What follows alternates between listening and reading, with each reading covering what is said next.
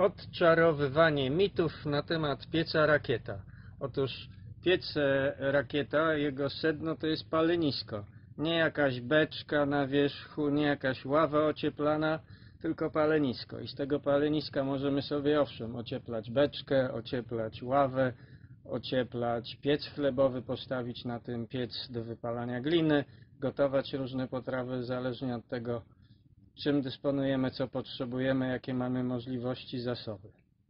A więc u mnie, u mnie to jest takie małe palenisko o przekroju gdzieś kilkanaście na kilkanaście centymetrów.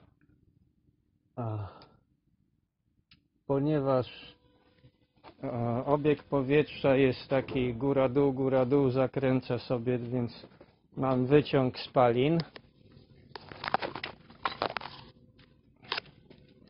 Który umożliwia, że pozwala, że cały czas jest dobry ciąg. No i proszę bardzo, trocinami takimi wiórami grubymi z heblarki sobie rozpalamy.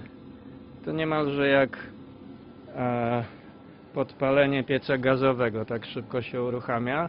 Jak jest suchym materiałem napełnione, i to wszystko. I to już się samo będzie dalej rozpalało. I u mnie tak, te spaliny idą sobie tutaj przez komorę, w której można e, gotować potrawy. Ta klapa się otwiera. Tu wyżej jest taki dodatkowy piekarnik, w którym jest mniejsza temperatura.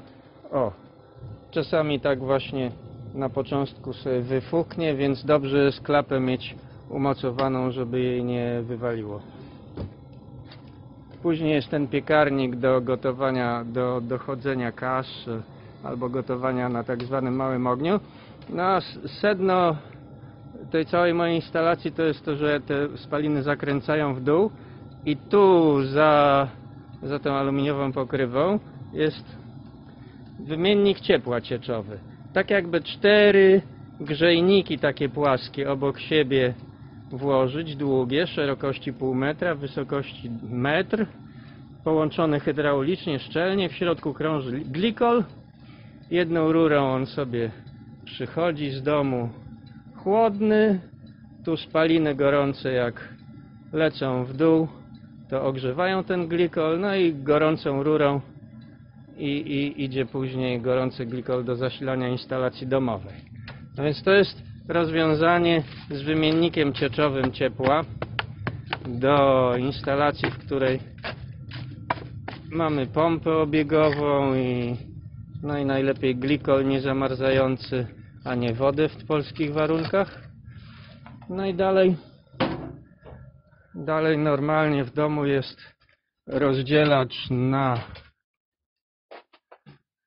na grzejniki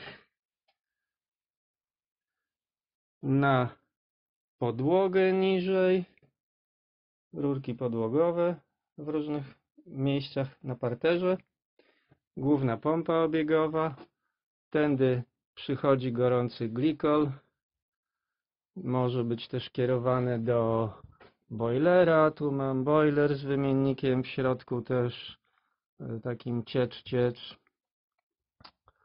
no i tak, no piec rakieta właśnie może zasilać taką typową, nietypową, w każdym razie instalację domową z normalnym ogrzewaniem w grzejnikach, z boilerem, z ogrzewaniem podłogowym.